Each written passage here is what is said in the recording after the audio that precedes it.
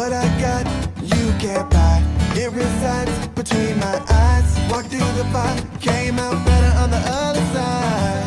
See, life's like a beach if you find the sand. And right now, I feel like a hundred grand. You are listening to Inspired Insider with your host, Dr. Jeremy Weisz. Dr. Jeremy Weisz here, founder of InspiredInsider.com, where I talk with inspirational entrepreneurs and leaders. And you know, some you've heard of, some you've never heard of. Kim, I like hearing about the challenge stories. So, you know, I had someone on, uh, Moise Navone, who was the founding engineer at Mobileye, and they had a journey and they were acquired by Intel for $13.2 billion, um, but was struck. Uh, what struck me during the interview was that multiple times they made sacrifices and had to take pay cuts and he had to go back to his family and tell the kids we're pulling you out of all extracurricular activities because we can't afford it and so that's like the true journey of you know we hear about these success stories but the the you know the ups and downs that people go through to get there is tremendous. So check out more episodes in inspiredinsider.com and this episode is brought to you by rise 25 which i co-founded with my business partner john corcoran who who kim also knows. And uh, kim's also been on um, smart business revolution so check that out. And uh, rise 25 we help b2b businesses connect to their dream 100 clients and referral partners and help you run your podcast so essentially and get roi which is important, which we'll talk about with Kim, making sure people get ROI from social media. And just like Kim thinks you must be on social media and must get ROI from social media, is how we feel about podcasting. Okay. It's been the best thing I've done for my business and my life because I've met business partner, um, gone to people's weddings, I've gone on family vacations with people. Um, and so check out rise25.com uh, and you can email us at support at rise25media.com if you have questions about podcasting and clients that we have worked with Harvard Alumni Group, Berkshire Hathaway Company, SaaS companies, and many more. So check it out. Um, I am excited to introduce today's guest, um, who I've known for a long time, Kim Walsh Phillips, who has put more than a billion dollars in her clients' pockets through direct response social media marketing. And Kim is a multi seven figure business entrepreneur. Most importantly, she's a lover of all things Disney. And, you know, she's the best selling author of No BS Guide to Direct Response Social Media Marketing with Dan Kennedy. You can check it out at nobsbookbonus.com, nobsbookbonus.com, and her company, powerfulprofessionals.com. And, you know, she's spoken all over the world Moscow, Dubai, traffic and conversion, GKIC super conferences, Kevin O'Leary, Shark Tank meetup. I'm sure I'm missing a few, Kim, but um, thanks for joining me. You know, um, I always ask Kim, since it's Inspired Insider, what has been a low moment you had to push through and a proud moment. I wanted to do, you know, for you, a hustle moment. Not, uh, uh, you know, we'll talk about the low moment, proud moment, but there's a hustle moment that I still remember from we talked. It was almost five years ago that we were talking about this topic, and I still remember the story um, when you were young and it was your parents' anniversary. I wonder if you could quickly tell that story. I was 13 and my parents had a big anniversary coming up, and I didn't have the money to pay for a party because I had no money and I have a job. But I thought of a way that I could pay for it by collecting cans and bringing them. I lived in New York at the time, and they have a deposit per bottle that you can get back. And so I went around the neighborhood collecting cans long enough to bet, get $95, which of course seemed like everything in the world to me at that time, which gave me enough money to pay for a nice Italian dinner to be catered and I could take care of the party fees myself. And that's hmm. really just one of many examples of the amazing entrepreneurs that are probably watching right now because we all know when you don't have the resources that doesn't mean you say no that means you get resourceful. And so i've definitely throughout the years used opportunities in front of me to say what do i want and how am i going to get it? How can i make this work for me um, based on what i have available and what i can put together myself? You inspired the hustle moment. I think this is going to be like a staple on the show now. The Kim Walsh Phillips hustle moment. Um, thanks for um, low point that you pushed through um, in your career. Like I was mentioning the front of the the interview, you know, you've had very very successful um, agencies and products and all of this, and you make it look seamless and easy. But um, there's been a journey to that. There's definitely been. I've had a lot of low moments. Uh, one of the worst was back before I knew about direct response and I had not figured out so many of the things. I had to hawk my engagement ring to make payroll. And so I'm in the town pawn shop, which I'd never been in before. And as the guy's asking me what I wanted for my ring, I didn't know that you're not supposed to give honest answers, right? So like this $10,000 ring that I got $1,300 for just so I can make payroll.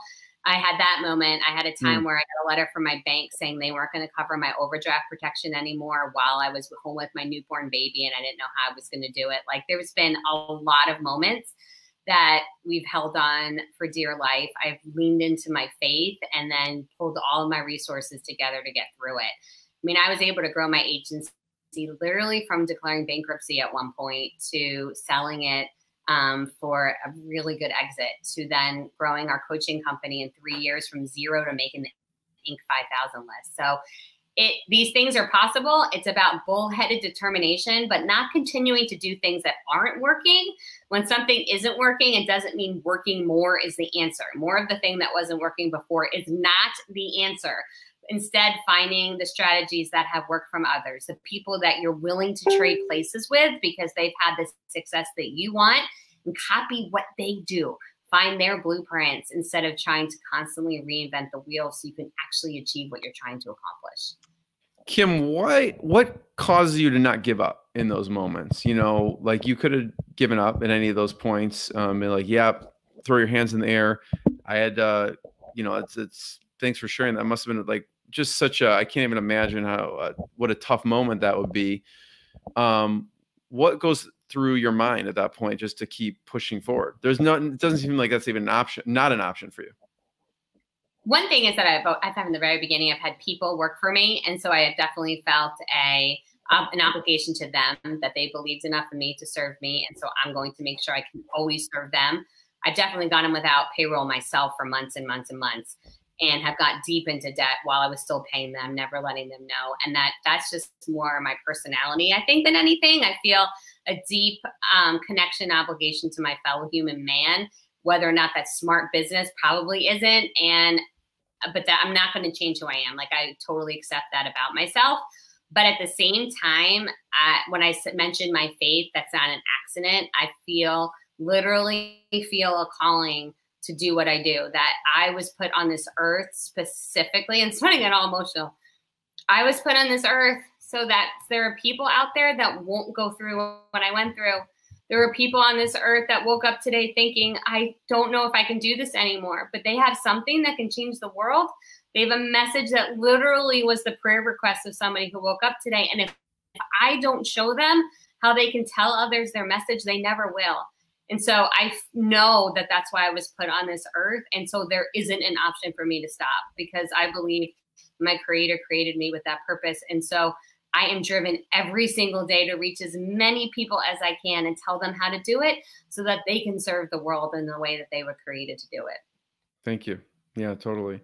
Um, on the flip side, a proud moment from people actually listening to you and you changing the world. And what's been proud moment for you?